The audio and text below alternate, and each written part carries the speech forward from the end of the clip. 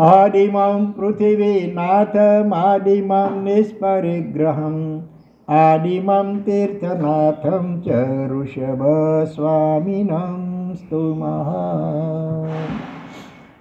મહાન પ્રભુ ભક્ત આચાર્ય ભગવાન શ્રી માનતું સુરીશ્વરજી મહારાજા દ્વારા વિરચિત ભક્તામર સ્તોત્રનો આપણો સ્વાધ્યાય ચાલુ છે.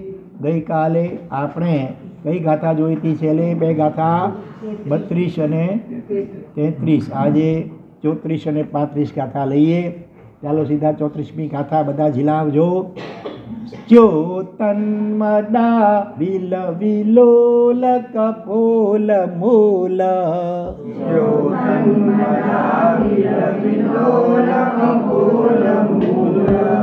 મત ભ્રમત ભ્રમર નાદ વિવૃત કોપમ નિબમુદ્દત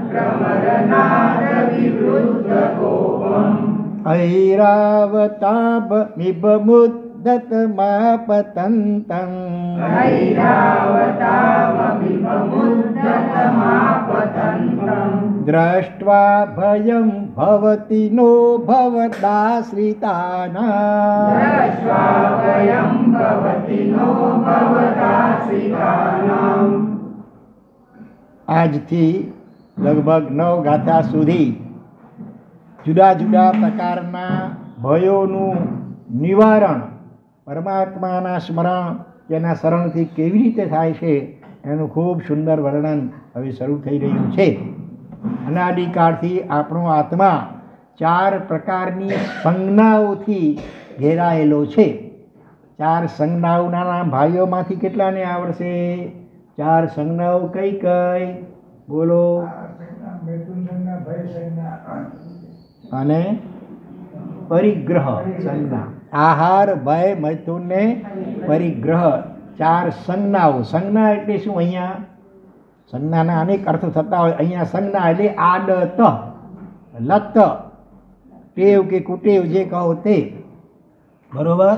આહાર, સંજ્ઞા. ભાવ બેઠો જપે ને જે આવે તે ખપે. ખાખા કરવાની ખાવદરાપણાની વૃત્તિ. એ આહાર સંજ્ઞા, પછી ભય બીજી છે, ભય સંજ્ઞા, બરાબર? શાસ્ત્રમાં આમ તો સાત પ્રકારના ભયોની વાત આવે છે. કયા સાત ભાઈ કોઈને ખબર છે સાત ભાઈના નામ? ઇહલોક ભય, પરલોક ભય, આજીવિકાનો ભય, અકસ્માતનો ભય, ચોરીનો ભય, અપયશનો ભય અને સૌથી મોટામાં મોટો ભય કયો? મૃત્યુનો ભય. બરોબર? અહીંયા જરા જુદી રીતે સાત નહીં પણ આઠ ભયો વર્ણન આવશે. આહાર ભય મૈથુન અને પરિગ્રહ ભેગું કરવાની વૃત્તિ આ ચાર સંજ્ઞાઓથી જીવ અનાદિકાળથી ઘેરાયેલો છે. આત્માનું મૂળ સ્વરૂપ તો એવું અદ્ભુત છે કે આ ચારેય સંજ્ઞાનો એકદમ નામો નિશાન પણ જ્યાં હોતો નથી. એ સિદ્ધ દશા કેવી અદ્ભુત હશે? વિતરાગ દશા કેવી અદ્ભુત હશે? એની આપણે કલ્પના કરવી રહી. પણ આ ભય સંજ્ઞા હા, એનાથી જો મુક્ત થવું હોય, તો જે સ્વયં સંપૂર્ણપણે અભય બની ગયા, એટલું જ નહીં, પોતાના શરણાગતને પણ જે અભય આપવા માટે સમર્થ છે, એવા પરમાત્મા જેમને માટે નમોત્તરમ સૂત્રમાં એક વિશેષણ ભગવાન શું મૂક્યું છે, અભય દયાણમ અભય દેનારા. દયાણમ દયા અહીંયા કરુણાર્થમાં નથી, પણ દયા એટલે દેનારા. અભય દાના દેનારા. અને એવી જ રીતે બીજો એક સૂત્ર આવે છે, નમો જીણાણમ પછી જીય ભયાણમ. જીય એટલે જીત. બધા જ ભયોને જેમણે સંપૂર્ણપણે જીતી લીધા છે, સંપૂર્ણપણે નિર્ભય બની ગયા છે અને માટે જ શરણાગત જીવોને પણ જેઓ અભય આપવા માટે સમર્થ છે. એવા પરમાત્માનું જો આપણે સમ્યક પ્રકારે શરણ સ્વીકારી શકીએ તો આપણા પણ ભયો અનુક્રમે ઘટતા ઘટતા સંપૂર્ણ નાશે થઈ જાય. આપણે સ્વયં પણ ભયોને જીતનાર અને અભયને દેનાર બની શકીએ છીએ. બરોબર? અને યોગીરાજશ્રી આનંદનજી મહારાજાએ ત્રીજા સંભવનાથ ભગવાનના સ્તવનમાં, પણ એક સરસ વાત શું કરી? સેવન કારણ પહેલી ભૂમિકા રે અભય, અદ્વેષ અને અખેડ. પરમાત્માની સેવા, ભક્તિ. ખરેખર સારી સમ્યક પ્રકારે કરવી હોય તો એની પાયા પ્રાથમિક ત્રણ શરતો મૂકી પરમાત્માનું સેવક આત્મા એની ભૂમિકા હૃદયની કેવી હોવી જોઈએ? અભય, અદ્વેષ અને અખે ભય ચંચલતા હો જે પરિણામની. પરિણામ ચંચળ. ભયથી માણસ ધ્રુજે ને, શરીરથી પણ ધ્રુજે ક્યારેક નહીં તો મનથી તો ધ્રુજતો હોય કે કોણ જાણે શું થશે શું થશે શું થશે. એટલે એટલે પરિણામની ચંચલતા. એ અહીંયા ભયની વ્યાખ્યા કરી. આપણે તો સ્થિર થવું છે. જ્યાં સુધી ભય છે આ ચંચળતા છે આત્મપ્રદેશમાં કંપન, ત્યાં સુધી બંધ, કર્મ બંધ ચાલુ હોય છે. એમ ભગવતી સૂત્રમાં કહ્યું છે.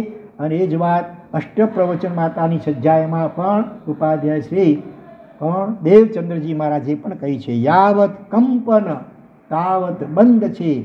બાંખ્યું ભગવઈ અંગ. ભગવતી સૂત્રમાં કહ્યું છે કે યાવત કંપન, જ્યાં સુધી આત્મદેશમાં થોડું પણ કંપન છે, ત્યાં સુધી કર્મ બંધ ચાલુ રહે છે.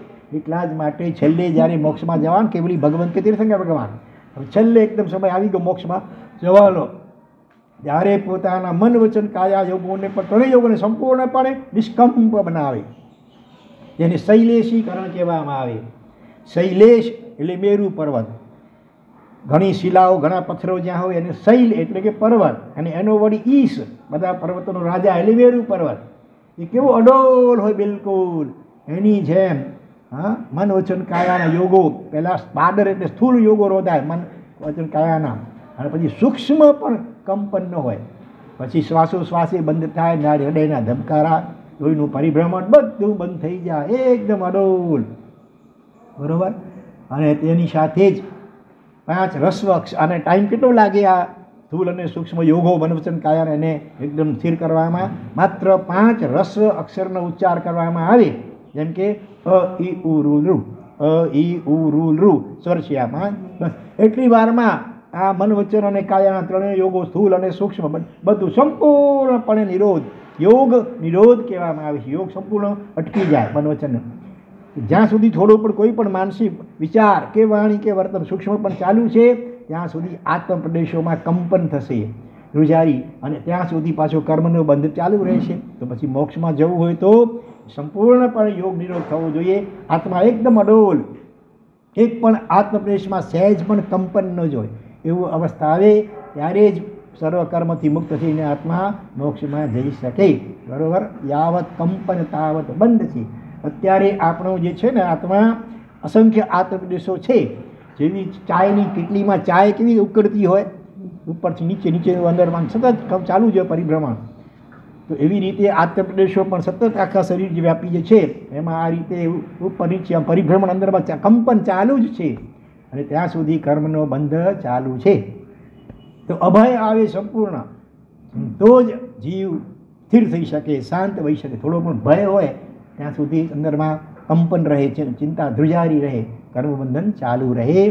તો એટલા માટે હવેની ગાથાઓમાં સંપૂર્ણપણે આ ભય સંજ્ઞા ઉપર આપણે વિજય મેળવવો હોય, તો સંપૂર્ણ ભય જેમણે જીતી લીધા છે, જીત ભય બન્યા એવા અરિયન પરમાત્મા અહીંયા આદિનાથ ભલે ઉપલક્ષથી કોઈ પણ તીર્થંકર પરમાત્માનું સમ્યક પ્રકારે સરળ સ્વીકારવામાં આવે, તો ભયંકર આવા બધા ભયોથી પણ જીવ નિર્ભય બની શકે છે. તો હવે ચોત્રીસમી ગાથામાં સૌથી પહેલાં એલિફન્ટ હાથીનો ભય એનું નિવારણ કેવી રીતે થાય એ લીધું છે. હાથી માટે સંસ્કૃતમાં શબ્દ છે ઈભ. ઈભ ઈભ એટલે હાથી, ગજ એટલે પણ હાથી, હસ્તી એટલે પણ હાથી, કરી એટલે પણ હાથી, અલગ અલગ અનેક શબ્દો છે. તો અહીંયા ઈભ શબ્દ મૂકવામાં આવ્યો છે ગાથાની અંદર. તો દૃષ્ટવા ભયમ દ્રષ્ટવા ભયમ ભવતીનો ઐરાવતાભ મિભ. ત્રીજી લીટીમાં ઐરાવતાભ, પછી મિભમ, મિભ. મિભમાંથી મ અડધો આમ લઈ લો, પછી બાકી રહે ઈભ. ઈભમ એટલે ઈભ એટલે હાથી. તો એને દ્રષ્ટવા, હાથીને દ્રષ્ટવા એટલે જોઈને ભયમ ભવતી નો નો ભયમ ભવતી. ભય થતો નથી. હાથી કેવો હોય? એકદમ, હા સર્કસના હાથી જેવો નહીં. મનોન્મત ગાંડો તૂર બનેલો એકદમ. એનું આ બેહુબ શબ્દ ચિત્ર અહીંયા ઉપસાવે છે આચાર્ય ભગવાન. સ્યોતન મડા વિલ વિલોલ કપોલ મૂલ. સ્યોતન સ્યોતન એટલે ઝરતું એવું જે મદ. હાથી જ્યારે યુવાવસ્થામાં આવે, ત્યારે એનું આ જે કપોલ પ્રદેશ કહેવાય ગંડ સ્થળ એમાંથી સુગંધિત એવો મદ, એક પ્રકારનો લિક્વિડ પ્રવાહી, એ ઝરવા માંડે. તો સ્યોતન એટલે ઝરતો એવો જે મદ. એનાથી આવિલ આવિલ એટલે લેપાયેલ અથવા ખરલાયેલ. શું? અને વિલોલ, એટલે વિલોલ એટલે ચંચળ. એવું જે કપોલ મૂલ, કપોલ ગંધસ્થળ, હાથીનો. એનો જે મૂળ ભાગ.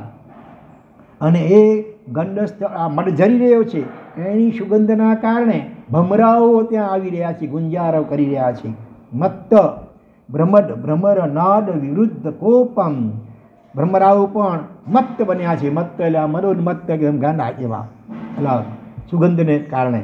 અને એ રીતે ભ્રમદ ભ્રમદ એટલે આમ ભમ ફરી રહ્યા, ઉડી રહેલા જે ભ્રમર એટલે ભમરાઓ, એનો નાદ એટલે અવાજ, ગુંજારો, ભમરાઓનો ગુંજારો. એનાથી વિવૃદ્ધ કોપમ, કોપ એટલે ગુસ્સો, ક્રોધ, જેનો વિવૃદ્ધ વિશેષ પ્રકારે વૃદ્ધિ પામ્યો છે. એક તો આથી યુવા અવસ્થામાં આવેલો છે ગાંડોતુર બનેલો છે, ને અધૂરામાં પૂર્વરી એ વચ્ચે ને, એક તો વીંછી હોય એટલે એક તો વાંદરો હોય બરોબર? અને વાંદરો ચંચળ હોય. અને એણે વળી કોઈક દારી મધુરા દારૂ પી દીધો હોય. તો એને કાં નશામાં પણ એ પણ ભાન ભૂલી જાય. અને એમાં વળી હં, વીંછી ડંખ મારે એ. અને વાંદરાને પછી તોફાન કેવા કરે કેવી નાચગૂડ નાશ ભાગ અને કરે અને તોડફોડ કરે. તો એવી રીતે એક તો હાથી છે યુવા અવસ્થામાં આવેલો છે મડ જરી રહ્યો છે એના ઉપર ભમરા એક તો કંટાળેલો છે. એના ઉપર ભમરાઓ ગુંજારો કરે છે ક્યાંક ભમરા ડંક પણ લગાવી દે. એને કારણે એકદમ હવે એકદમ તોફાને ચડ્યો છે હાથી બરાબર? અને કેવો હાથી ઐરાવતા ભમ ઐરાવતા ભ ભમ. પછી ઇભમ ઐરાવત હાથી કોનો હોય? ઇન્દ્રનું વાહન. ઐરાવત હાથી એટલે સામાન્ય હાથી નહીં હાથી જ્યારે કોઈ એવો. સરકસ વગેરેમાં જ્યારે ખાવાનું પૂરતું ન મળતું, એવું હાથી નહીં. એકદમ ઇન્દ્રના વાહન ઐરાવત જેવો હાથી હોય અને ઉદ્ધતમ. પાછો ઉદ્ધત બનેલો છે. છંછેડાયેલો છે હાથી એકદમ. અને આ પતંતમ આપણી સામે આમ ધસમસતો આવી જ ચૂંડ ઉછાળતો ઉછાળતો, આમ ગર્જના કરતો કરતો, ચિંગાડ મારતો, કરતો એકદમ આપણને જાણે ચૂંટથી પકડીને આમ આકાશમાં ઉડા ફેંકવા માટે કે પગ નીચે કચડી નાખવા માટે ધસમસતો ગાંડો તૂર હાથી આવી રહ્યો હોય. આવી સ્થિતિ હોય ધારો કે, બરાબર? આજે વિશ્વમાં અમુક દેશોમાં હાથી વધારે હોય છે. ક્યાં હોય છે, ખાસ કરીને દક્ષિણ આફ્રિકા વગેરેમાં. અને દક્ષિણ ભારતમાં દક્ષિણ વિભાગમાં. ત્યાં ઘણા બધા હાથીઓના ઝુંડના ઝુંડ હોય વીસ, પચીસ, પચાસ હાથીઓ ભેગા ફરતા હોય. તો અને એમાં કોઈ હાથી ગાંડોતુર બને તો જો મજા આવે. એવી ચોર એ આવે સામે. મોટા મોટા તોતીનું વૃક્ષ ઝાડ હોય ને, એને સુરથી પકડીને હલાવીને ઉખેડીને ફેંકી દે. મનુષ્ય તો ગજુ છું ત્યાં? એવું આ ટેનિસ બોલની જેમ આકાશમાં એ ઊંચે ઉછાળી દે પછી નીચે પડે લેવડી પગથી કચડી નાખે અથવા પોતાના તીક્ષ્ણ દાંતો પરોવી કરીને પણ મારી નાખે.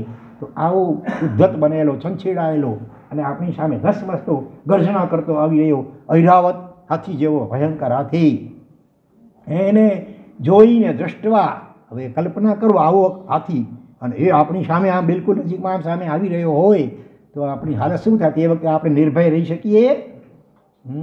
એવો રાડો પાડી બચવા માટે બચાવ બચાવ બચાવ, નાશ, ભાગ જીવ કરી મૂકે. પણ આવી એકદમ આવી દોડતો આવી રહ્યો છે નજીકમાં આવી પછી શું કરવાનું ત્યાં? કાચું પોચું હોય તો હાથ ફેલ થઈ જાય કદાચ એને જોઈને જા. હા, તો અહીંયા કહે છે દ્રષ્ટવા ભયમ આવા ગડો હાથીને પણ દ્રષ્ટવા આવે જોઈને ભયમ નો ભવતી. ભવ, ભય થતો નથી. કોને? ભવદ આશ્રિતા નામ એમાં ભવત વત્તા આશ્રિત. ભવત એટલે આપ. આપને. હે ભગવાનીનાથ ભગવાન આપના જે આશ્રિત હોય, આપને શરણે જે જે રહેલા હોય, એને આવો મડોન્મત્ત ભયંકર હાથી કે જોઈને પણ ભય થતો નથી એવી શ્રદ્ધા હોય? ભગવાનને ખરેખર આશ્રિત હોવો જોઈએ જેમ નાનું બાળક પોતાની માને કેવો આમ આશ્રિત હોય ને? જ્યારે છોકરાઓ શરીરમાં રમતા હોય એનો ઓચિંતો આખા શરીરે ભભૂતિ ચોપેલો પરછંદ કાયાવાળો બાવો હાથમાં ચીપ્યો હોય, મોટી વાળોની જટા હોય, લાલ મોટી આંખો હોય, અને અલગ નિરંજન કરતો આવે, અને એને જોઈને બાળકો બિચારા ભયના કારણે ડરીને સીધા ઘર ભેગા ભાગે, અને એમાં બાળક ક્યાં જાય? પપ્પા પાસે જાય કે મમ્મી પાસે જાય? મમ્મી પાસે જઈને એની ગોદમાં લપાઈ જાય, અને મમ્મીનો પ્રેમાળ હાથ માથે પીઠ ઉપર ફરે, એટલે બાળક નિર્ભય, નિશ્ચિંત બની જાય. હા, હવે મને વાંધો નથી, કારણ કે મારી વાત, હા, વાત્સલ્યમયી મમ્મીનું શરણું મળી. જ્યાં સુધી મમ્મી જીવતી હોય, ત્યાં સુધી કોઈની મજા નથી કે મારો વાળ પણ વાંકો કરી શકે. આવી દ્રઢ શ્રદ્ધા બાળકના અંતરમાં હોય છે. અને એવી જ રીતે બે બાળકો શેરીમાં રમતા રમતા ઝઘડી પડે ને, તો એ વખતે શરૂઆતમાં તો બળવાન બાળક હોય નબળાને દબાવે બિચારો. નબળું હોય, રડવા માંડે જોર જોરથી અને એ વખતે આનો અવાજ સાંભળીને મમ્મી દોડી આવે. દૂરથી ખાલી મમ્મીને આમ આવતી જોવે અને ઓલામાં હિંમત આવી જાય. નબળા બાળકમાં પણ હિંમત આવી જાય. હવે આવી જાય કે છે શું પણ. તો આ ત્રણલોકના ના ચોસઠ ઇન્દ્ર વગેરેથી પૂજિત એવા અરિહંત પરમાત્મા અનંત કરુણાવંત, અનંત વાત્સલ્યમય ધન શક્તિમાન. હવે એનું જો શરણું જીવે ખરેખર શ્રદ્ધા હોય સાચી અને સ્વીકારી હોય, તો આવા ભયંકર હાથીને જોઈને પણ એને ભય લાગે નહીં. બસ ઓમ રીમ શ્રી આદિનાથ શરણંગ અથવા નમો હરિહંતાણમ. બોલે અને હાથીને પણ શાંત થઈ જ છૂટકો. આવો હાથી પણ શાંત થઈ જાય. શાસ્ત્રમાં અમુક દાખલા એવા આવે છે. અમુક મહાપુરુષોના, ખાસ કરીને એક તો આવે છે આર્ધર કુમાર બરોબર? આર્ધર કુમાર નામ તો સાંભળ્યું છે ને? અનાર દેશમાં ઉત્પન્ન થયા હતા અને પછી દીક્ષા પણ લીધી હતી ને. તો એ જ્યારે વિહાર કરતા પસાર થઈ રહ્યા હતા કોઈ જંગલ વગેરેમાંથી અને હાથી એકદમ ગાંડોતુર બન્યો હતો, જે સેંકડો ઝાડોને ઉખેડી ફેંકી નાખ્યા હતા. જેવો આ અર્ધકુમારને જુએ છે અને એકદમ એનો બધો મદ જાણે કે ઓગળી જાય છે, એકદમ ગુસ્સો શાંત થઈ જાય છે અને એમના ચરણોમાં છૂંટ નમાવીને નમસ્કાર કરે છે. ભલે ત્યાં આદિનાથનું નામ કે ભલે કરી લીધું કોઈ પણ હરિયંતને યાદ કર્યા અને મુનિ જીવનમાં તો નિરંતર પંચ પરમેશ્વરી ભગવંતનું સ્મરણ અને શરણ તો સહજ રીતે આત્મસાત થયેલું જ હોય છે. એટલે એમનો સંયમ અને પ્રભુ ભક્તિ અને પ્રભુની શરણાગતિના પ્રભાવે એ મડોન્મત્ત હાથી એ પણ શાંત થઈ ગયો.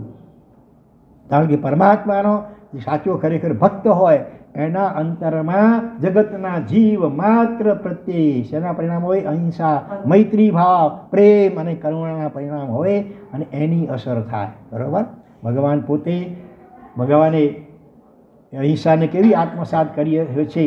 જેને કારણે સમવસ્ત્રની અંદર જન્મજાત વૈરભાવવાળા પશુઓ પણ મિત્ર બનીને પાસે પાસે બેસીને ભગવાનની દેશના સાંભળતા હોય, વાઘ અને બકરી હોય, સાપ અને નોળીઓ વગેરે હોય બિલાડીને કૂતરો હોય, તો એવા એવા પ્રાણીઓ પણ એકદમ જાણે મિત્ર હોય જીગરી, એવી રીતે બાજુબાજુમાં બેસી કરી અને તન્મય થઈને ભગવાનની દેશના સાંભળતા હોય, આ ભગવાનની અહિંસાનો પ્રભાવ છે. પાતંજલ યોગ સૂત્રમાં મહર્ષિ પતંજલિએ પણ કહ્યું છે કે અહિંસા પ્રતિષ્ઠાયામ તત્સન્નિધૌ વૈર ત્યાગ અહિંસા જ્યારે એકદમ આત્મસાત થઈ જાય, આત્મામાં પ્રતિષ્ઠિત થઈ જાય, ત્યારે એના સાનિધ્યમાં જે પણ જીવ હોય, એના વૈરભાવ શાંત થઈ જાય, બરોબર? ગઈકાલે આપણે ભગવાનના ચોત્રીસ અતિશયોમાં આપણે એક અતિશય જોતો ને હા વૈર ત્યાગ સવાસો યોજન ભૂમિમાં જળ જમીનને જોરું એમાંથી કોઈ પણ નિમિત્તે વૈરા ઉત્પન્ન થયો, વૈરૂપી અગ્નિ તો એ શાંત થઈ જતો હોય છે. તો આ અર્ધકુમારનું દૃષ્ટાંત આપણે જોયું. એવી જ રીતે પાર્શ્વનાથ ભગવાનનું દૃષ્ટાંત વિચારી શકીએ કે જ્યારે છદ્મસ્ત અવસ્થામાં હતા ભગવાન સાધના કરતા હતા. એ વખતે કયા જંગલ કયા સરોવર પાસે ખ્યાલ છે કોઈને? સાધનામાં હતા અને એક વખતે જંગલી હાથી ત્યાં આવે છે. જેનું વર્ણન પાર્શ્વનાથ પંચકલ્યાણ પૂજામાં પણ આવે છે. કલી અને કુંડ. કલી નામનો શું હતો? પર્વત. અને કુંડ એ સરોવર ત્યાં હતું.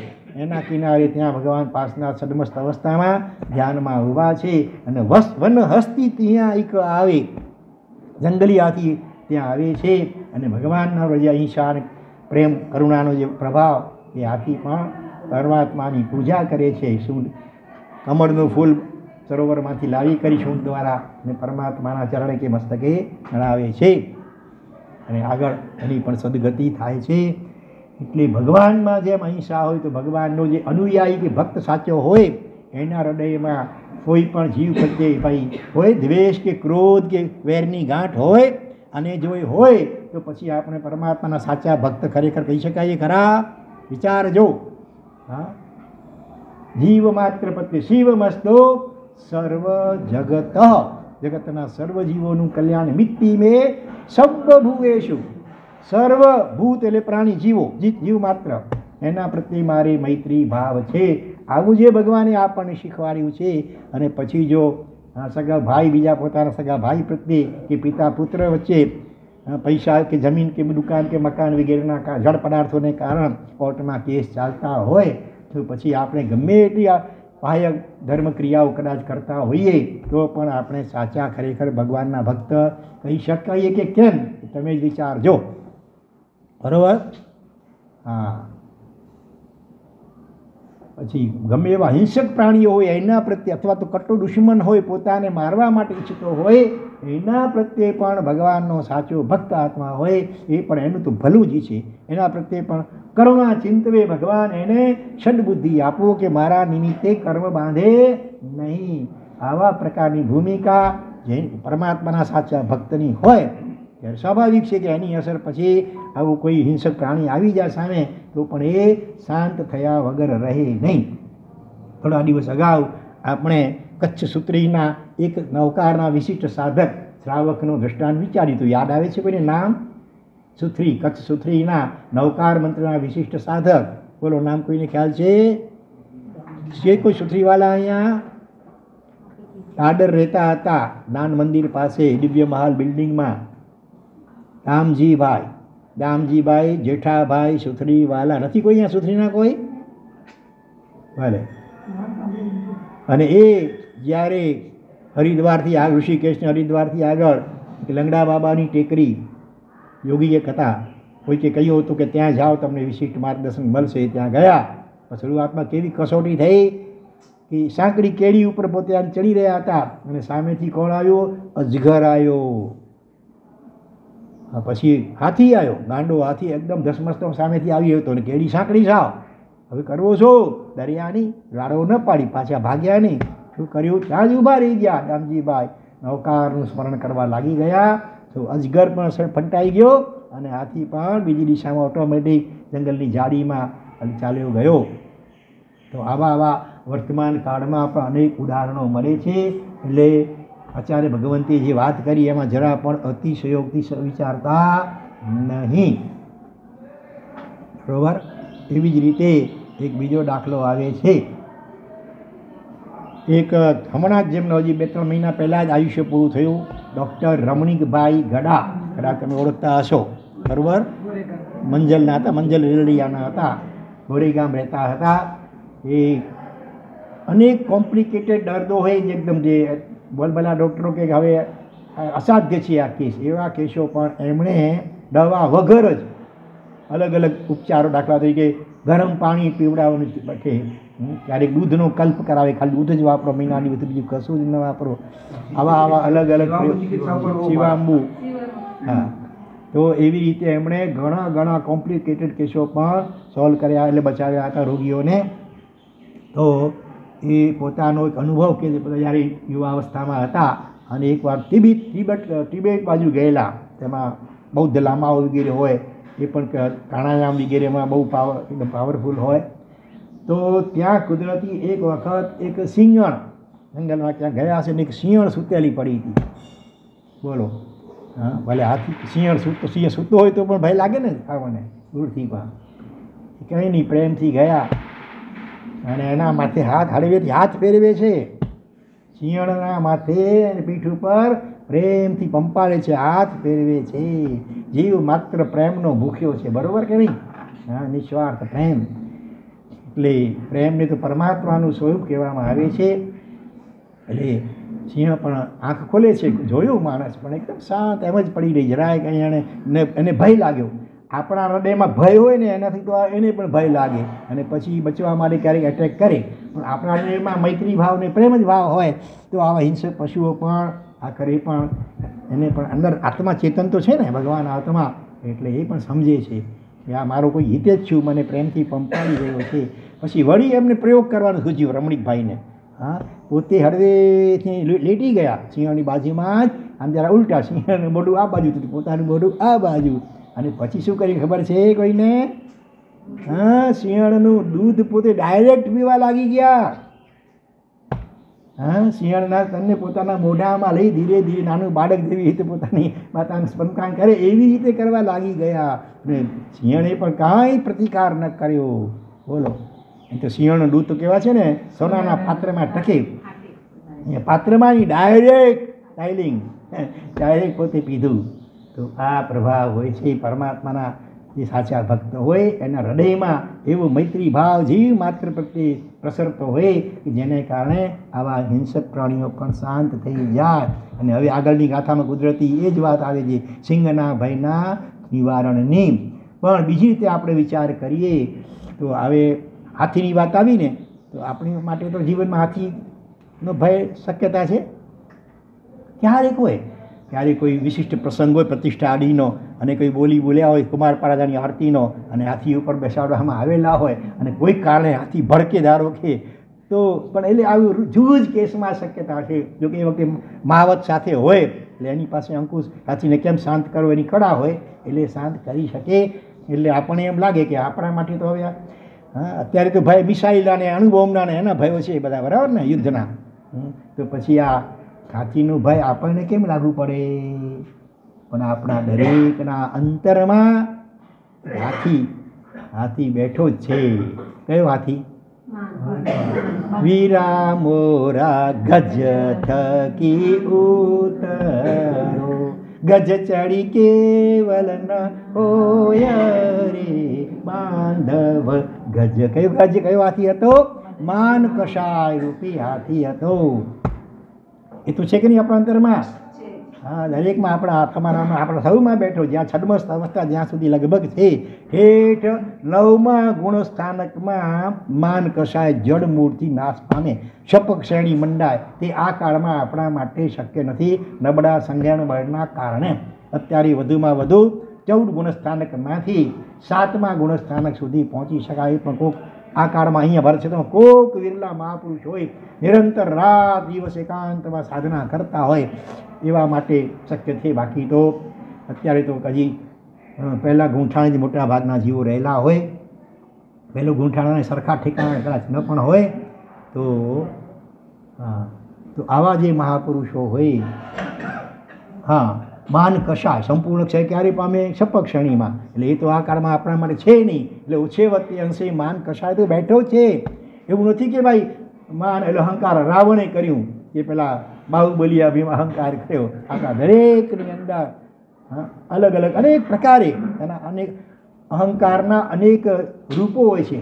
બહુરૂપિયો કહેવાય. બહુરૂપી જાત જાતના રૂપ બદલે ને વેશ બદલે બદલે. એવી ત્યાં માન કસાય હમ, એને પોતાના રૂપનું આઠ પ્રકારના મદ બતાવ્યા ને એ બધું આમાં આવી જાય.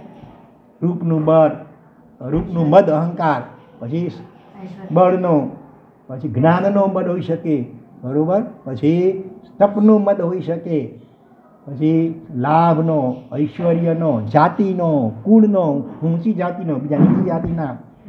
આ વિવિધ પ્રકારે. અને ઘણીવાર તો પોતે જાણે નમ્ર છે, નમ્રતાનો એ અહંકાર આવી જાય. મારે, હું તો બહુ વિનયવાળો છું અંદરમાં વિચારતો હોય, તો એ નમ્રતાનો એ પાછો અહંકાર. એટલે જ્યાં સુધી સાચો હું, અનુભવાશે નહીં, આત્મા સાચો હું, એટલે આત્મા એનો અનુભવ નહીં થાય, ત્યાં સુધી આ માન કસાય એ પણ પાછા દરેકના ચાર ચાર પ્રકાર છે ને, અનંતાનુબંધી અપ્રત્યાક્ષાની પ્રત્યાક્ષ સંજોલન અનંતાનુબંધી કોટીનું માન, ક્રોધ, માન, માયા, લોભ ચારે કસાય અનંત સંસારનું અનુબંધ એ પરંપરા જનન સર્જાય એવી કોટીના અંદરમાં પડ્યા હોય, સુસુપ્ત પડ્યા હોય ત્યારે કોઈ જોર કરે, ત્યારે બહાર આપણને દેખાય કે આણે ક્રોધ કર્યો કે આણે અભિમાન કે ઈર્ષ્યાગીરી કરી. પણ સૂક્ષ્મ રૂપે તો જ છે અંદરમાં, સૂતેલા પડ્યા જ છે. તો એટલા માટે આ જે માન કષાય અંદરમાં છે માન કષાય રૂપી હાથી, એને પણ જીતવો હોય, તો એને માટે પરમાત્માની ભક્તિ, પરમાત્માનું નામ સ્મરણ બરોબર? અને પરમાત્માની આજ્ઞાઓનું પાલન એ જ એને માટે સર્વશ્રેષ્ઠ ઉપાય છે. ચાલો હવે આગળ વધીએ. હવે પાંત્રીસમી ગાથા લઈએ. ભિન્ને કુંભ ગલ દુજ્જ્વલ શોણિતાત મુક્તા ફલ પ્રકર ભૂષિત ભૂમિ मुक्ताफलप्रकरभूषितभूमिभाग।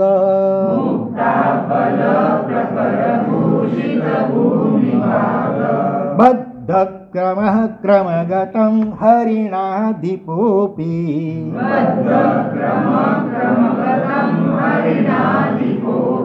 नाक्रामतिक् સંસ્કૃતમ તે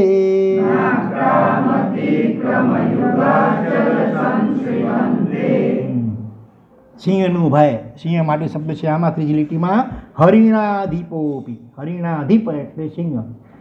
હરિણ શબ્દથી બધા પશુઓ પણ લઈ શકાય, માત્ર મૃગ કે નહીં ઉપલક્ષણથી બધા જ પશુઓ લઈ શકાય. એનો અધિપ, અધિપતિ, સ્વામી, પણ જંગલનો રાજા સિંહ એ અપી એટલે પણ. કેવો સિંહ? જેણે પેલા એમ જ આપણે સમજી લઈએ કે હાથી ભમે એટલે ભલે મોટો હોય, તાકાતવાળ હોય, તો પણ હાથીને કોણ પહોંચે? સિંહ. હાથી સિંહથી પણ, સિંહથી ડરે. અને એકલ ભલે, ઘણીવાર સિંહ એટલે બે ચાર સિંહ ભેગા થઈને પણ હાથીને પણ મારી નાખે, ચીરી નાખે. તો અહીંયા એવો વિકરાળ સિંહ હોય. સર્કસમાં તો બિચારા નમાલા બની ગયા હોય. રિંગ માટે જેમ નચાવી એમ નાચવું પડે એને.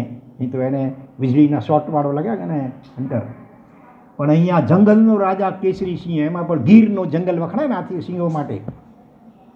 અને એવા એ વિકરાળ સિંહે હાથીને માર્યો હોય. હાથીનું ગંડ સ્થળ હોય કપોલ પ્રદેશ, એમાં કેટલાક વિશિષ્ટ હાથીઓમાં શું અંદરમાં મોતી હોય, જેને ગજમુક્તા કહેવામાં આવે છે. બહુ કિંમતી જલ્દી મળે નહીં. અને એ મેળવવા માટે ઘણીવાર હાથીઓનો શિકાર કરવામાં આવતો હોય છે. હાથીનો શિકાર કેવી રીતે કરે ખબર છે? એને એક મોટો ખાડો, ઊંડો બનાવવામાં આવે.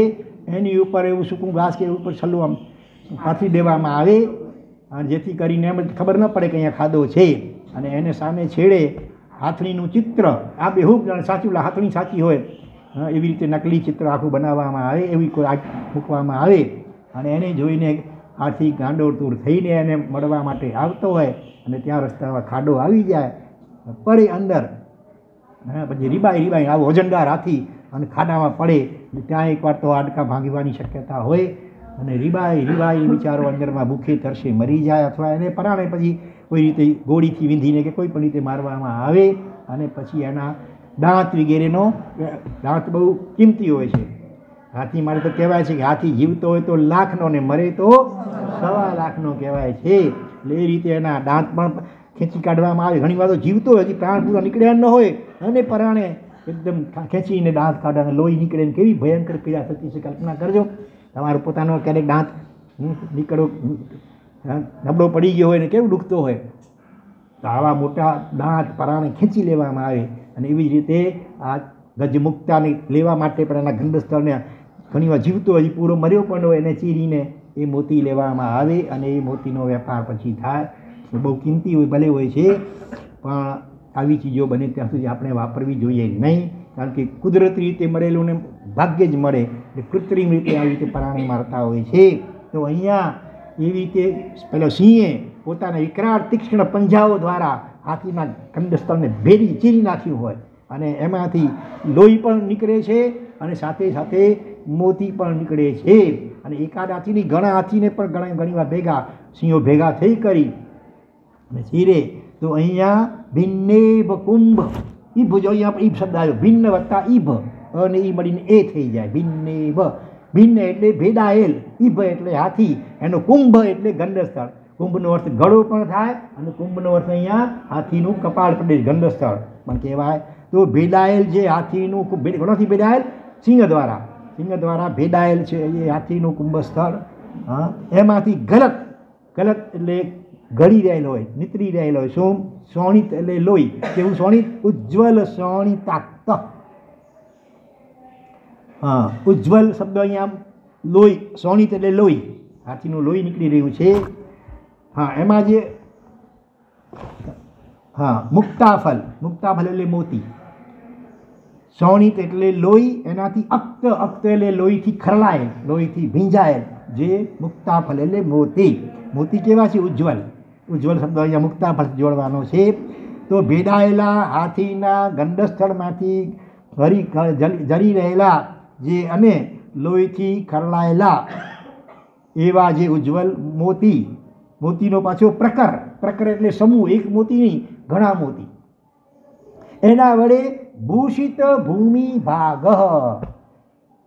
ભૂષિત કરેલ છે ભૂમિ એટલે પૃથ્વીના ભાગને જેણે એવો હરિણાદીપ એટલે હાથી હાથીનું વિશેષણ રાખવું છે આટલું મોટું બે લીટીમાં બે ડાયેલ હાથીના ગંધસ્થળમાંથી જરતા ઉજ્જવળ અને લોહીથી ખરડાયેલા એવા મોતીઓના સમૂહથી જે જેણે પૃથ્વી તલને ભૂષિત આભૂષ અલંકૃત કરેલ છે. મોતી, આભૂષણ કહેવાય ને મોતી તો. અહીંયા પૃથ્વીને શણગારેલ છે કોણે હાથીએ? જેને શણગાર છે મોતીઓથી પણ એ મોતી કોણા કો કયા મોતી? આર્ટિફિશિયલ નહીં મોતી. હાથીના ગંડસરમાંથી નીકળતા મોતી. અને એ પણ અનેક મોતીઓથી સાથે લોહી પણ નીકળી રહ્યો છે હાથીને ગંડસ્ત્રમાંથી લોહીથી ખરડાયેલા એવા મોતીઓ. એટલે એક બાર લાલ કલર લોહીનો અને સફેદ મોતીઓનો. એટલે એ રીતે અલગ અલગ કલરથી જાણે કે પૃથ્વીને તમે જેમ રંગોળી પૂરો ને સાથી આપો રંગોળી પૂરો. એ રીતે સિંહે અહીંયા રંગોળી જાણે કે પૂરી છે પૃથ્વી ઉપર. હાથીના લોહી અને મોતી દ્વારા. આવો વિકરાળ સિંહ હોય એમ. એવાનો એવાનો બધા સામાન્ય સિંહ નથી આ. અને પાછો બદ્ધ ક્રમ. ક્રમ એટલે પગ, ચરણ. બદ્ધ.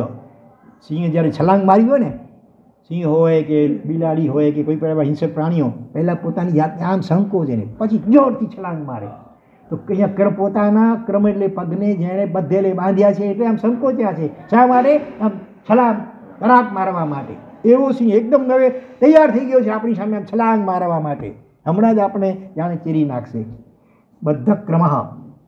અને વળી પાછો ક્રમઘતમ અને એ મનુષ્ય પણ એ સિંહના ક્રમ એટલે પગની પાસે પહોંચી પહોંચ્યો બિલકુલ. નજીકમાં દૂર નથી. આપણે સિંહ નજીક, એકદમ નજીકમાં આવી ગયા છીએ. સિંહના પગ પાસે આપણે બિલકુલ આવી ગયા છીએ હવે તો. હવે એક પંજો મારે એટલી વાર છે ફક્ત. તો અહીંયા આવો સિંહ પણ, સિંહના પાસે રહેલા એવા આપણને પણ ન આક્રમતી. આક્રમણ કરી શકતો નથી. કેમ?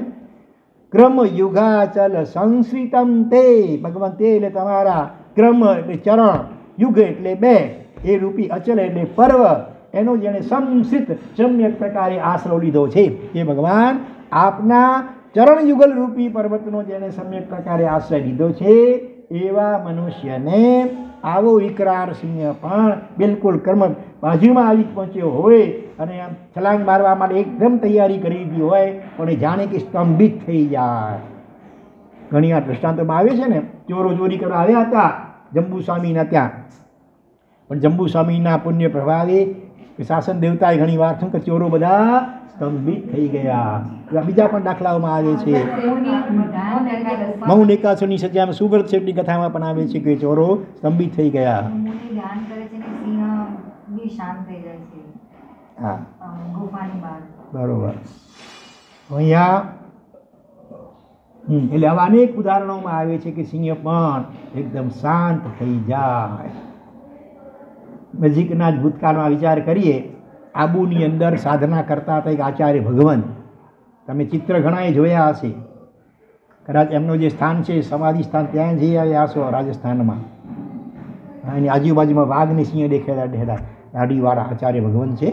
સફેદ દાઢી છે બરાબર કાયા છે. આજુબાજુમાં વાઘ સિંહ. ચિત્ર તમે જોયું હશે. જોયું કોઈએ? આબુવાળા કે આબુવાળા કયા આચાર્ય? શાંતિ સુરી હવે યાદ આવે છે? કોઈએ ચિત્ર જોયું છે એમનું? આજુબાજુમાં વાઘ સિંહ બેઠેલા હોય, શાંત થઈને. એમનો સંયમનો અને પ્રભુ ભક્તિનો, પ્રભુની પ્રત્યેની શરણાગતિનો એવો પ્રભાવ હોય છે કે આવા વિકરાળ વાઘ સિંહ પણ જાણે કે પાડેલા તમારા ટોમી કૂતરો કેમ પૂછી પટપટાવી પોતાના માલિકને જોઈને? હા, એની જેમ એકદમ ઘેલ કરતા હોય, ક્યારેક એના ખોડામાં બેસી જાય. હા. અને કોઈ બીજો માણસ આવે શત્રુ તો પછી ચોકીદાર, વોચમેન થઈને ઊભા રહે. બીજો એક શ્રાવકનો દાખલો તમને આપું. અમે શ્રાવકને મળ્યા છીએ. કચ્છી શ્રાવક પાછા, બોલો. સાયનમાં રહેતા હતા. ત્યારે કદાચ હોય કે ન હોય, શામજીભાઈ એમનું નામ સાયનમાં રહેતા હતા. થોડા વર્ષ પાંચ સાત વર્ષ પહેલાં અમે રૂબરૂ મળેલા એમને. એમના ઘરે જઈ આવેલા. ઉપાસીમાં પણ આવેલા. મોટી ઉંમરના એ વખતે હતા, લગભગ પંચ્યાસી આસપાસની ઉંમર હતી. એમણે પોતાનો અનુભવ કયો? જ્યારે યુવાન વય હતી એમની, અને નાની ઉંમરથી એમને સાધના, આત્મસાધનાનો એવો રંગ લાગેલો. એટલે કલકત્તાની પાસે કોઈ ઉદયગીરી નામે કંઈ પર્વત છે, એ પર્વતની ગુફામાં પોતે ધ્યાન સાધના કરતા હતા. અને એક ગુફાની અંદર એક લાંબો મોટો જાડો અજગર પણ રહેતો હતો અને સાથે સાથે કે એવો સિંહ મોટો, એ પણ એ જ ગુફામાં રહેતો હતો. છતાં કોઈને કોઈથી ભય લાગે નહીં. હા? અને અધ- અધરમાં પૂરું પેલો સિંહ બરાબર ગુફાના દરવાજા પાસે બેસીને વોચમેનગીરી કરતો હતો જાણે. હા, કોઈ પણ બીજો આવીને સાધનામાં ખલેલ ન પહોંચાડે, કોઈ પશુ વગેરે કે કોઈ એવો જંગલી ભીલ વગેરે. એ રીતે સિંહ જેટલી વાર અંદર સાધના કરતા હોય, એટલી વાર ગુફાના દરવાજા પાસે બેસી રહે. એટલું જ નહીં, એ અજગરને સિંહ પણ આપસમાં એકબીજાને નુકસાન કરતા નહોતા. એકદમ એ પણ મિત્ર ભાવે રહેતા હતા. આ પ્રભાવ છે. પરમાત્માનો સાચો ભક્તમાં એના હૃદયમાં રહેલું છે. મૈત્રી ભાવ, એની અસર હોય છે કે આવા વિકરાળ પશુઓ પણ શાંત, મિત્ર બનીને, એના સેવક કે ભક્ત બનીને જાણે કે એમની રક્ષા કરતા હોય. બીજા એક સાધક છે વર્તમાન કાળની અંદર, શ્રાવક, જેનું નામ છે યોગેશભાઈ. નામ સાંભળી શકો એ? ઈડરની ગુફાઓમાં કે આબુની ગુફાઓમાં ચાર ચાર મહિના સુધી સંપૂર્ણ મૌન અને એકાંતપૂર્વક આત્મ સાધના ધ્યાન સાધના કરતા હોય. તો દૂર જે ભોજનશાળા હોય, ત્યાંથી ટિફિનની વ્યવસ્થા ગોઠવાયેલી હોય એક માણસ જઈને ગુફાના દ્વાર દરવાજા પાછી ટિફિન મૂકી આવે, અમુક સમય થાય, અંદર લઈ વાપીને વળી ધોઈને પાછા બહાર મૂકી દે અને માણસ લઈ જાય. તો એને બિલકુલ મળવાનું નો એન્ટ્રી ગમે એવો અનન્ય ભક્ત એમનો કાં ન હોય. તો પણ નહીં, એ એની દર્શન પણ નહીં. ખાલી વાણીનું મન નહીં, મૂળ તો મનનું મૌન સાધવું છે ને.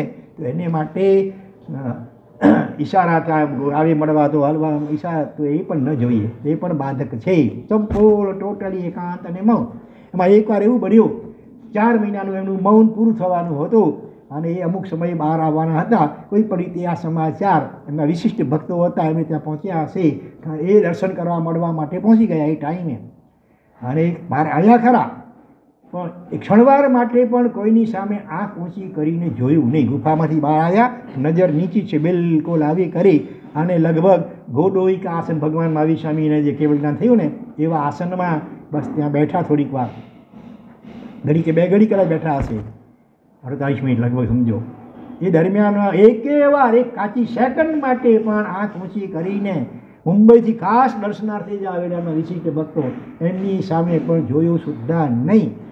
વળી વળી પાછા એ જ રીતે ગુફામાં ચાલ્યા ગયા. બોલો. હા, કેટલું જગત પ્રત્યે ઉદાસીન ભાવ અને આત્મા પ્રત્યે કેટલી આત્મામાં લીનતા. આ સત્ય ઘટના હમણાં વિદ્યમાન છે યોગેશભાઈ. બરોબર? આવા વિશે, અને રાત્રિના સમયે ગુફાની બહાર શિલા ઉપર બેસીને ધ્યાન કરતા હોય, ત્યારે રાતનો જંગલનો પ્રદેશ હોય, એટલે એમાં ચિત્રો કે આવા વિકરાળ પ્રાણીઓ પણ આજે પાસે આમાંથી આમ પસાર થઈ જાય છતાં ન એમને ભય લાગે અથવા એમને કોઈ નુકસાન કરે કે ન એમના થકી પેલા પ્રાણીઓને પણ ભય લાગે. આવા સાધકો આ કાળમાં પણ વિદ્યમાન છે. એટલે અહીંયા આચાર્ય ભગવંતે જે વર્ણન કર્યું છે એમાં જરા પણ અતિશયોક્તિ સમજવી નહીં. વળી આવા વિશિષ્ટ જ્યારે સાધકો કે પ્રભુ ભક્તો હોય ને, તો શાસન દેવો પણ જાગ્રત હોય, એમની સેવા કે ભક્તિ અદૃશ્યપણે પણ કરતા હોય. એટલે આવા કોઈ ઉપસર્ગની સંભાવના હોય, તો શાસન દેવો પણ એ સામે કોઈ જે પણ જીવ વિકરાળ હોય એને સ્તંભિત કરી નાખે. અને સાથે એમના સાધના અને ભક્તિનો પણ એવો પ્રભાવ હોય, એમાંથી એવા વાઇબ્રેશન્સ નીકળતા હોય, એને કારણે પણ ઘણીવાર સામોજી ઓટોમેટિક સ્તંભિત થઈ જાય. એને કોઈ અપેક્ષા ન હોય, એને ડર પણ ન હોય, ભય પણ ન હોય.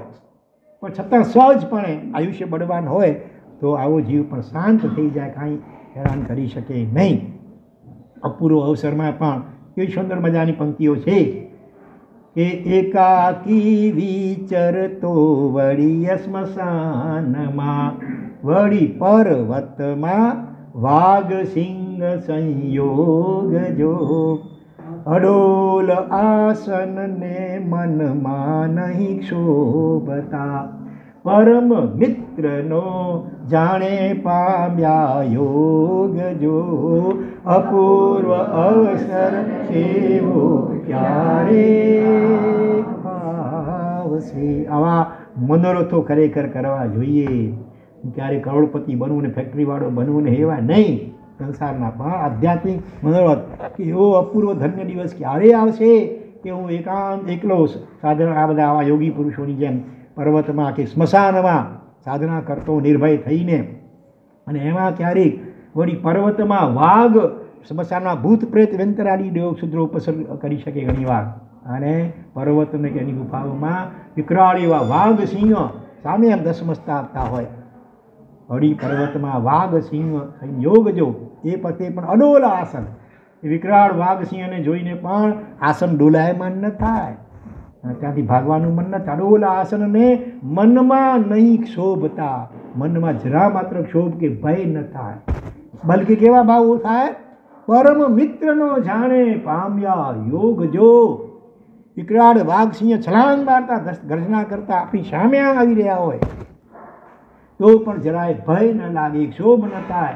ઉપરથી વળી કેવો ભાવ થાય એને જોઈને પરમ મિત્રો જાણે પામ્યા યોગ છો કેવી ઊંચી વાત થઈ છે.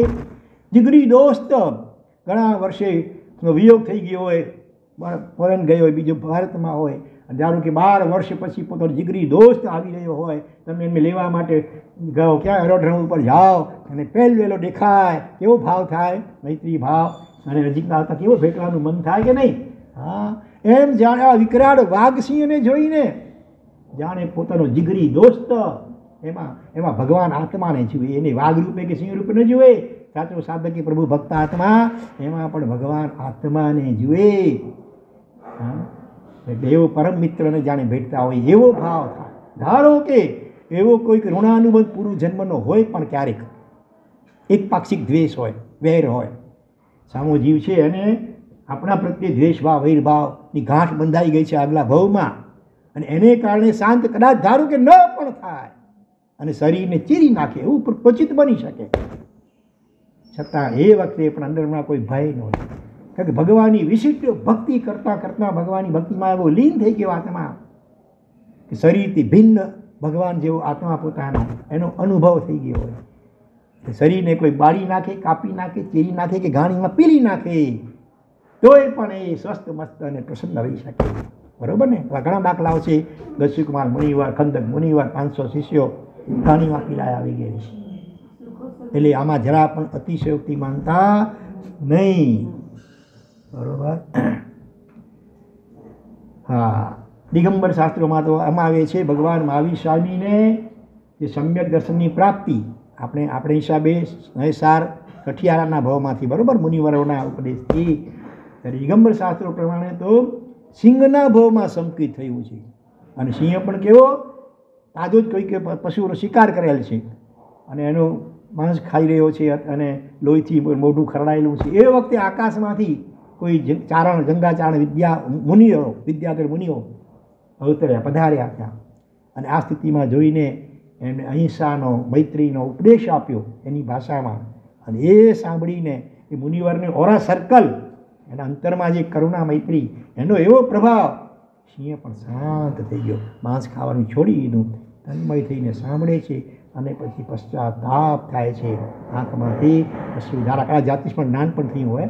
અને અશ્રુધારા પશ્ચાતાપ થાય છે અને એવી ભાવ દશામાં સ્થિર થઈ ગયો કે એને ત્યાં આત્માના અનુભવરૂપી સંકિતની પ્રાપ્તિ થઈ ગઈ. તો આ પ્રભાવ હોય છે, પરમાત્માના વિશિષ્ટ ભક્ત આત્માઓનો કે આવો સિંહ પણ સ્તંભિત ઓટોમેટિક સ્તંભિત થઈ જાય. અને આપણા અંતરમાં પણ એક સિંહ બિરાજમાન તો છે જ. બરાબર ને? માનરૂપી હાથી. તો સિંહ કયો અંદરમાં બિરાજમાન છે? એ સતત ક્રોધ માટે આપણે બીજી કોઈ, બીજો કોઈ રાખીશું ભાઈ. ઉપમિતિ ભવ પ્રપંચા મહાકથામાં ભગવાનનું વિશેષણ એક છે, મૂક્યું છે સિદ્ધર્ષિ ગણી મહારાજે. રાગ કેસરી દારીને રાગરૂપી કેસરી એટલે સિંહ, કેસરા હોય એને એટલે. એને દારીને નાશ કરનાર એવા પરમાત્માને નમસ્કાર કર્યો. રાગ કેસરી ડારીને જંગલનો રાજા કહેવાય કેસરી સિંહ. એવી રીતે બધા દોષોનો પણ સેનાધિપતિ જેવો રાગ રાગ છે. રાગમાંથી જ દ્વેષ ઉત્પન્ન થતો હોય છે. બરોબર? જે વસ્તુ કે વ્યક્તિ પ્રત્યે રાગ હોય અને એની પ્રાપ્તિમાં કોઈ અંતરાય બનતો અંતરાયરૂપ બનતો લાગે એના ઉપર દ્વેષ ઉત્પન્ન થાય. એટલે સિંહની ઉપમાં આ રીતે રાગને આપવામાં આવી છે. તો આ રાગરૂપી સિંહ એના ઉપર પણ વિજય મેળવવો હોય તો એ એને માટે પણ છે પરમાત્માનું શરણ. કર્મયુગાચલ સંસિતમ. આપના ચરણ યુગલનો સમ્યક પ્રકારે સમ લગાવ્યો સંસિત. સમ્યક પ્રકારે જેણે આશ્રય લીધો છે. એને આવો વિકરાળ સિંહ પણ એનો વાળ પણ વાંકો કરી શકતો નથી, સ્તંભિત થઈ જાય છે અથવા એનો સેવક બનીને પાડેલા કૂતરાની જેમ એનો પગ ચાટતો થઈ જાય, તો નવાઈ જરા પણ પામવી નહીં. તો આ રીતે આજે આપણે આઠ ભયમાંથી બે ભય હાથી અને સિંહના ભયનું નિવારણની વાત વિચારી બીજા આગળ આવશે, સર્પનો ભય આવશે, દાવાનળનો ભય આવશે, એનું નિવારણ પણ કેવી રીતે થાય છે, એનું વિશેષ વર્ણન અગ્રે વર્તમાન. અત્યારે એકવાર આપણે માન કષાય માનરૂપી હાથીની વાત આવી, તો માન કષાયની સજ્જા કેટલાને આવડે છે? ભાઈઓમાંથી કેટલાને આવડે? રે જીવ માન ન કીજીએ માને વિનય ન આવે રે. એનોમાંથી તો ઘણા બધાને આવડે. નમોરિયંતા? એટલું આ પાંચ એક ગાથાઓ માંડ છે. સાવ સહેલામાં સહેલું ચાલો ધ્યાનથી સાંભળજો અને બની શકે તો કંઠસ્થ કરવા કરજો. રે જીવ માન ન જી જીલાવો જે. જીવ માને વિનય ન આવે રે.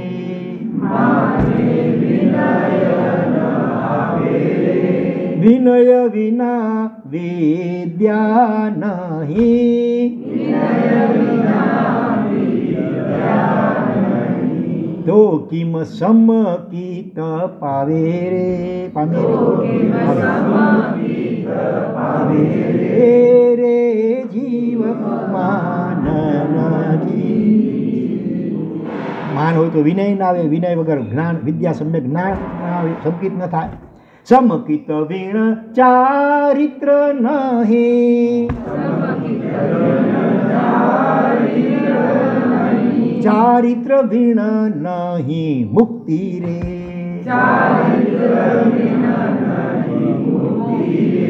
ચરિત્ર એટલે આત્મરમણતા. એ ન આવે સંકિત વિના અને એના વગર મુક્તિ ન થાય. મુક્તિના સુખ છે શાશ્વતા.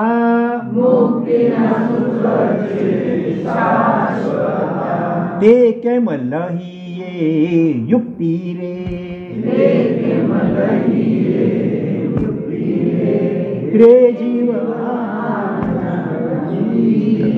પોતાની જાતને સંબોધીને કહેવાનું છે બરોબર? વિનય વડો સંસારમાં.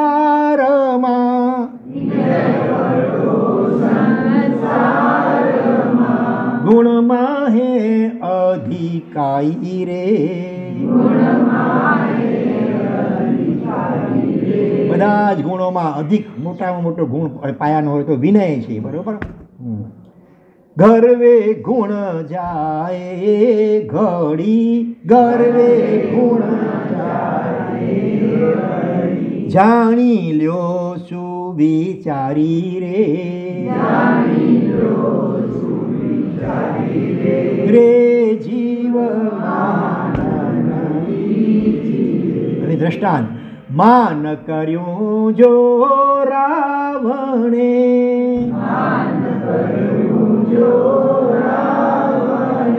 તે તો રામે માર્યો રે.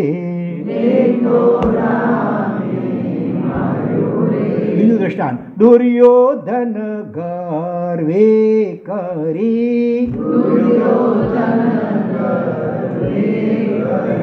અંતે સર્વે હાર્યો રે રે જીવ સુકાલા કળા સારીખો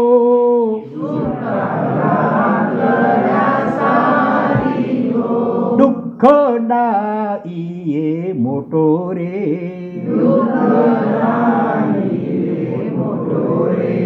માનને સૂકા લાકડાની ઉપમા આપી. અહંકારી જીવ નમી ન શકે. સૂકો લાકડો હોય તો નીલો હોય તો હજી થોડો વળી શકે. અહંકારી અક્કડ હોય ગર્વવાળો. એટલે એને ઉપમા આપી સૂકા લાકડાની.